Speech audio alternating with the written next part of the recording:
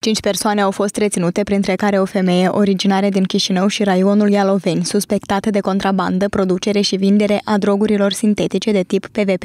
Bănuiții vindeau drogurile prin intermediul aplicațiilor electronice. Aceștia au creat trei magazine online unde plasau anunțuri cu tipul și cantitatea drogurilor disponibile, precum și regiunea unde acestea pot fi ridicate. În așa mod, potrivit poliției, suspecții au reușit să plaseze peste 9000 de pachete cu droguri în ascunzișuri, începând de la 0,5 grame până la 50 50 de grame, iar valoarea acestor doze vândute ar depăși suma de 10 milioane de lei. Ofițerii Inspectoratului Național de Investigații, în comun cu procurorii Procuraturii pentru combaterea criminalității organizate și cauze speciale, au efectuat percheziții la domiciliile și în automobilele suspecților. Ei au descoperit telefoane mobile și calculatoare, 2500 de euro, carduri bancare și înscrisuri de ciornă despre veniturile obținute din vinderea drogurilor. De asemenea, au fost depistate și 140 de cartele SIM utilizate la deschidere deschiderea conturilor electronice de plată pentru gestionarea tranzacțiilor financiare. Totodată, în raionul Ialoveni a fost depistat și lichidat un laborator de producere a drogurilor. Precursorii destinați fabricării drogurilor erau aduși prin contrabandă din Ucraina.